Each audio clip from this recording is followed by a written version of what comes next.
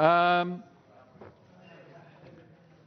as, as, I announced before, um, um, it's always great to have a sort of a discussion, and uh, we are very glad to have um, three experts on their fields in different aspects of value-based uh, healthcare.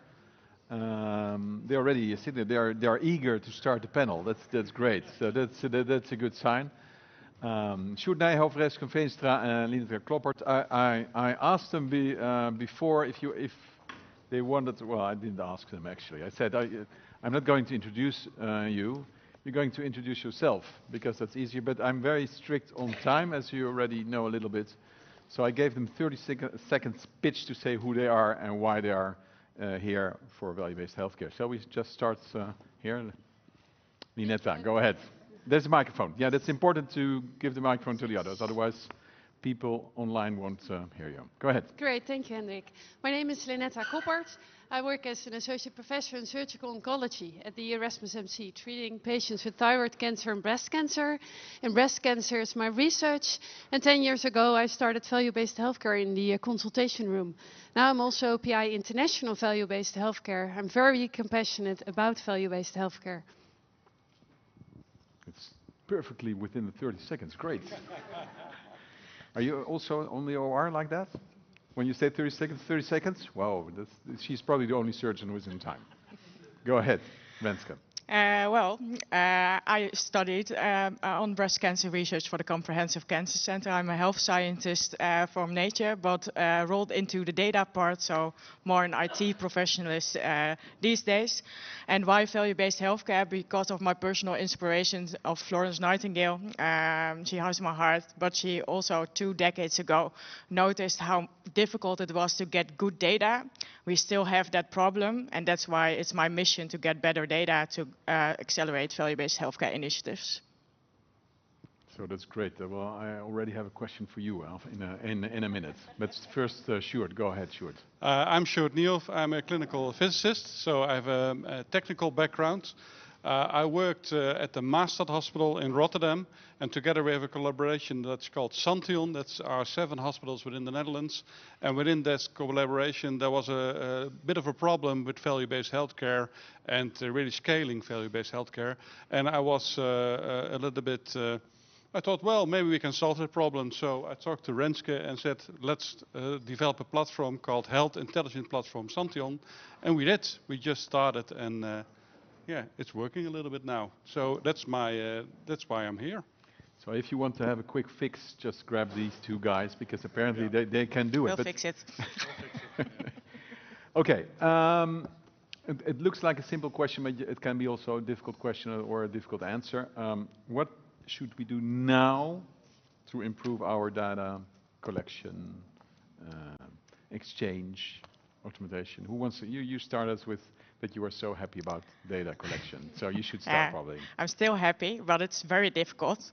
Uh, and I always, um, I always say, let's work together on uh, things like data availability, data quality, and standardization of data and work together on it because uh, it's not helpful if I'm only working on it or uh, you're working on it.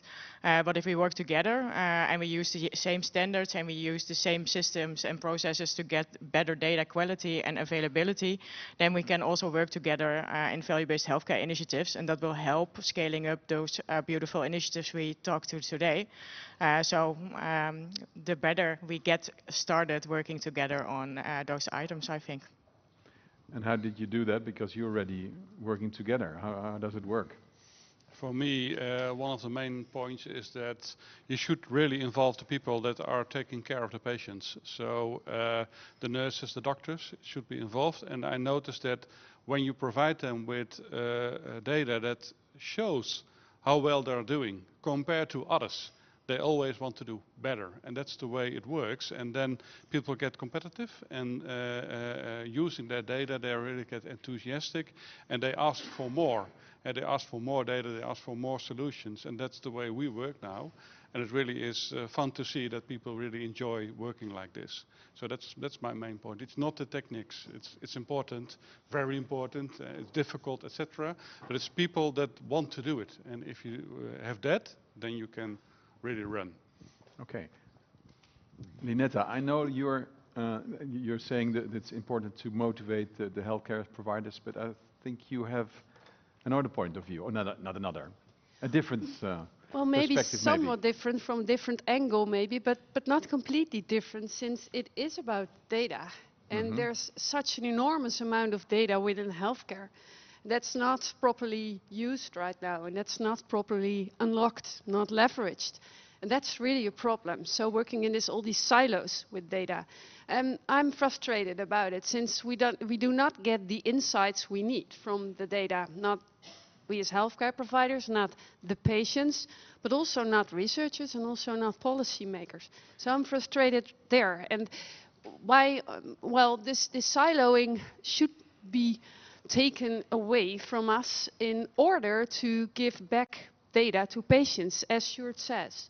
So to have patients in the driver's seat, and that's really what we need, also within the healthcare systems there's scarcity of personnel. We, we need patients to be in the driver's seat if they are, well, they have the capacity to do that, of course. So we should inform them, give them data, and also maybe a view in like aggregated data on other patients like them in a dashboard, ideally, to see how do I do, how do I perform right now today as compared to people like me that would be really, that's what we need. I think that's what we need now, actually. Because you work a lot with PROMs and PREMs, patient-reported outcome measures. Uh, Does it mean that you advocate that these should be available to all the patients? Yes. Yeah. You, you know that's a very dangerous statement, huh? Yeah. As, a- as Yeah. So that, surgical oncologist. that needs some explanation. yes. So not per se only a quality of life questionnaire data, but linked to the clinical data. And it should be discussed, I think, with the healthcare providers. So we should be in the lead to have a discussion on outcomes with our patients. And uh, one of the nominees was uh, from Leuven telling that compliance went up when there is this conversation in the outpatient clinic, of course. That sounds logical, but we should. And I think in the discussion going coming minutes, we should talk about that kind of behavioral change. Yeah. We should do that. We should take our responsibility there. Yeah. And that's a behavioral change from the healthcare providers, but does it also mean a behavioral change for the patients?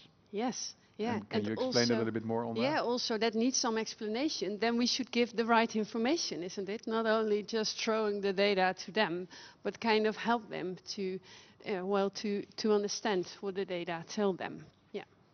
So if I understand you well, work more together, work more with the patients. I love the presentation of uh, uh, this more this earlier th- today when it said it's, uh, we are the partners of the patients and not the other way around. Does it feel like that? Yeah, I think that's very important to emphasize, but it's not only patients and healthcare providers. Also, IT professionals should work uh, in other ways. It's not about I give you the technology and you can use it or throwing the data, as Linetta just uh, said. Um, it's about uh, giving them meaningful data, which they can really use, and that's therefore is uh, something that we work on together. So it's the medical uh, specialists, the nurses, the patients, but also IT specialists, and, and that should be in one room to discuss on how we get the best data.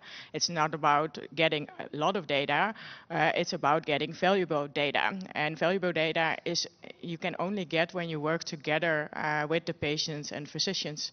Um, so that should be, uh, yeah, like working one team. So it's not separate worlds, and also changing that, and also giving uh, the change management side. I don't like it, the word, but uh, um, from a change management perspective, it's also important to give them the tools, facilitating them. It's not giving them a new technique or a new technology, or we want to do value-based healthcare. You need to give them the story of value-based healthcare. An IT specialist needs to know what is value-based healthcare. You need to teach them, and you need to take a physician. This is the IT system, and this is how it works, and this is how you get valuable data. Um, and that's something we need to work to, uh, on together.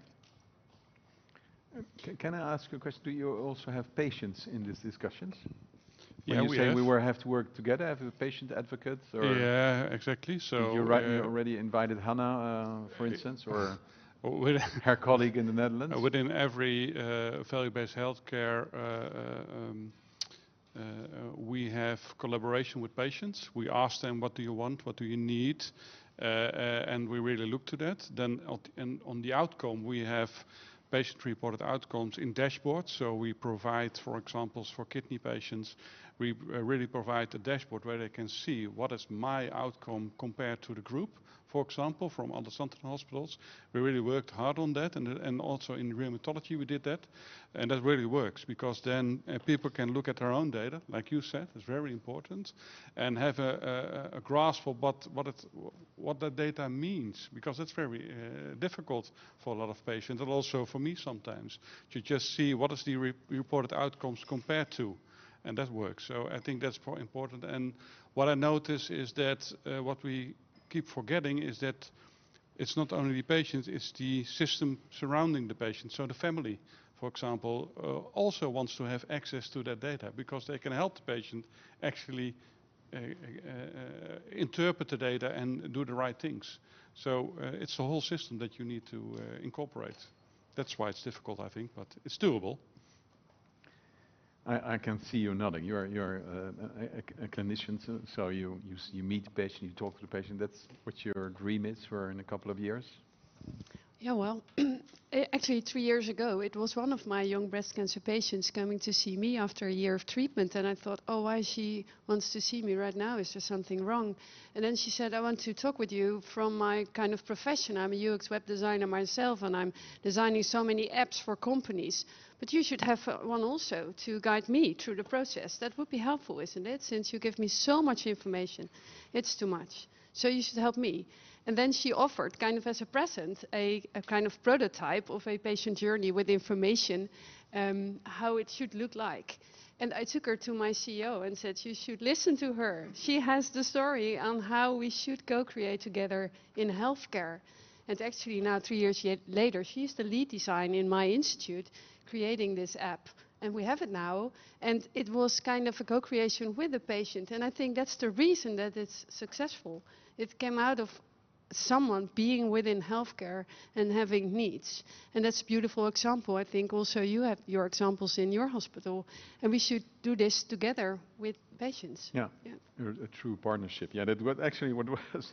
I know already the answer. I was my, my next question would be, what is the most impactful IT implementation you you saw in value-based healthcare? But you already Yeah. said it probably. Yeah. Yeah. Yeah, but there's also another one. Um, I think what's the most important um, uh, thing we achieved um, in my institute, I'm really grateful to work with a, a system that, that really supports me. So, the, um, for example, the patient reported outcomes are within the electronic patient file where they should be, and they're an important element in the daily care. So, the questionnaires are sent out automatically when patients have an appointment and there's already a DBC, DBC or DRG code, then they will get that specific set of questionnaires already automated. That's really great.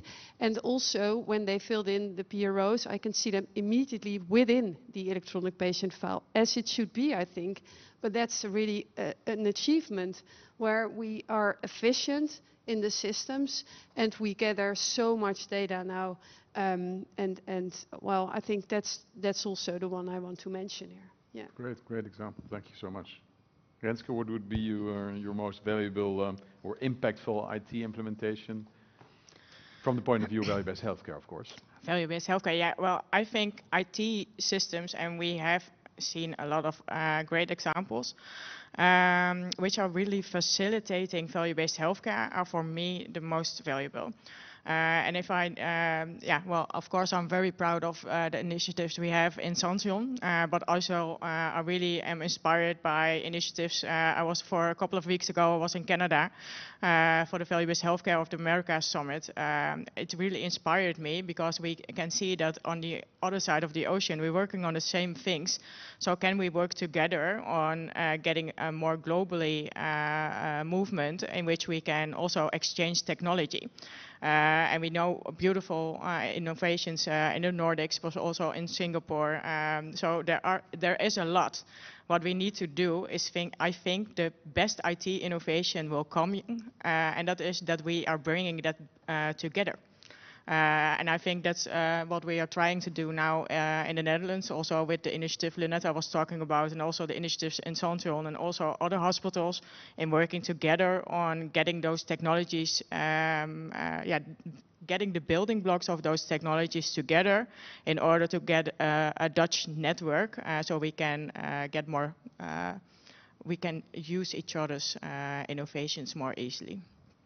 And what is the hurdle for not having it yet?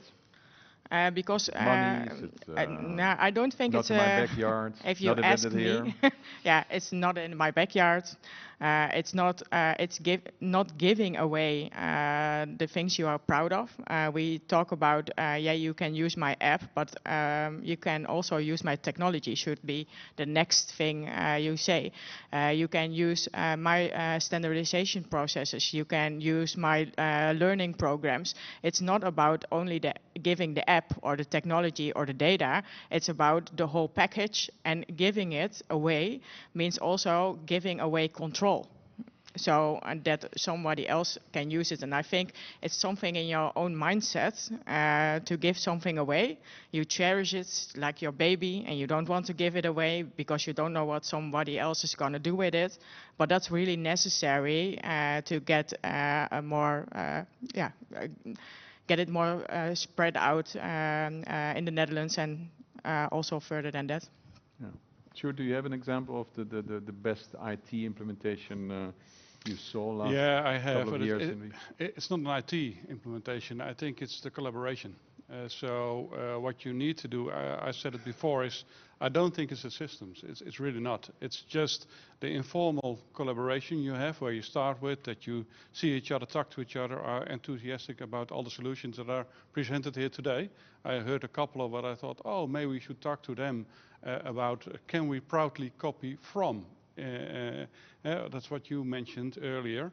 Uh, and I think if we do that and then formalize that, uh, formalize the collaboration uh, and, really have a discussion about what you said, that uh, uh, it's my baby. Uh, I want to take care of it. It, it needs to be, it needs to grow, but you know, like, like my children are 15 years old, they walk away and come back. They walk away and come back, and they walk further and further and further. And that's the way it should be with these type of systems. So you really should adhere that and be proud of what you did, but also make good uh, appointments and know each other to implement each other's ideas. Be proud of that. Uh, don't try to invent everything yourself. Yeah.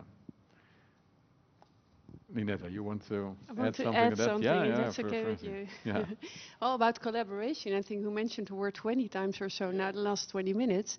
Um, I'm also very happy to have European collaboration on a nice initiative. It's also on the slide. It's called H2O, Health Outcomes Observatories. And it exactly does what I think we talk about. So kind of make an ecosystem on data where we um, make appointments on what we do um, as outcome set, so standardized outcome set for a particular disease, and then collect data, clinician clinical data, as well as patient-reported data, and then give aggregated data back to patients in a dashboard. That's what we strive for within this project, and it's really it's a public-private consortium. That's really great collaboration. There's the word again, and it makes us stronger. So in the Netherlands, I think we find each other already quite good and we'd like to collaborate but also there's europe and maybe wider than europe you went to canada we should do this really together and go into this together that's really challenging and, and, and so nice to do Yeah. yeah.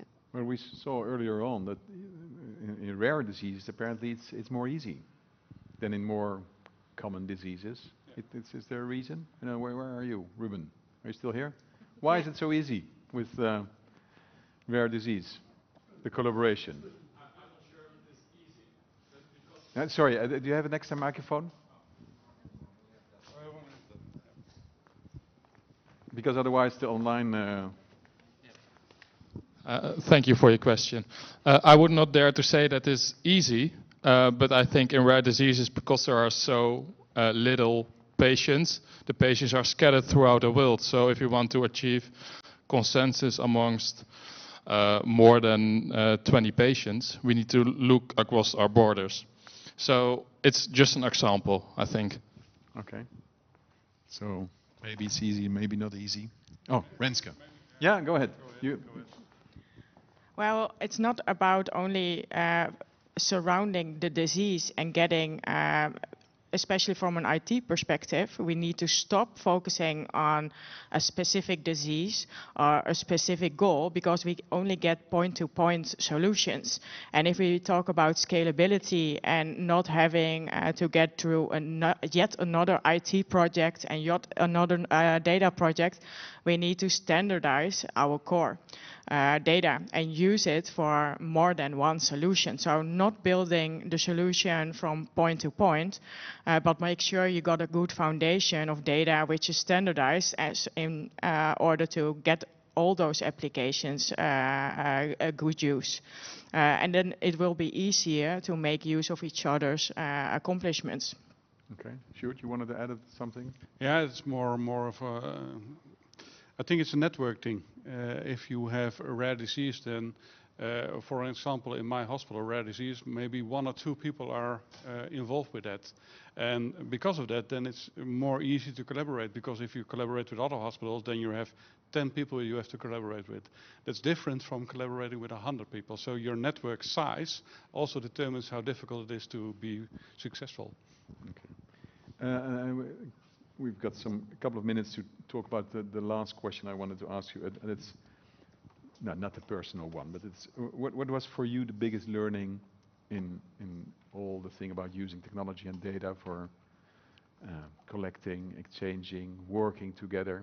Now, Sjoerd is smiling already. He wants, Yeah, he wants to answer Yeah, quick, yeah, yeah. Sorry, sorry. You will get to the time as well. Uh, The biggest to- learning. Dare to, dare to lead and dream. And uh, Renske is going to be uh, really angry after this talk because I'm going to say it. It's real-time value-based healthcare is my dream.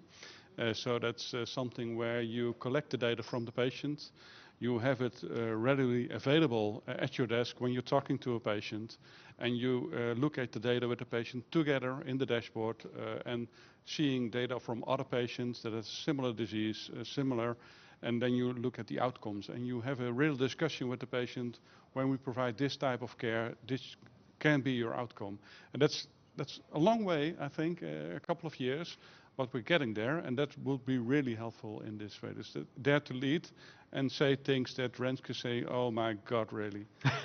Technical, I- I- very difficult. I see you nodding, uh. Yeah, Yeah. dare to dream? Yeah, yeah. I think three words. It's uh, a co-creation with patients. It's behavioral change for the healthcare professional also, and that's an important topic. And it's uh, collaboration.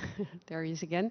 But uh, I think I want to tell practice what you preach. Since Renske t- talks about collaboration, but she's doing it already uh, very much since we're together in an initiative where we um, decided to collect uh, patient-reported outcome data of breast cancer patients in as many uh, initiatives in the Netherlands as we have, but particularly at the. John Hospitals and at the Erasmus, where I work with two other hospitals, we're trying to practice what we preach and bring together all these data, since when we do it by ourselves, we have not enough data to make good dashboards, as Sjoerd is dreaming of, and I'm also.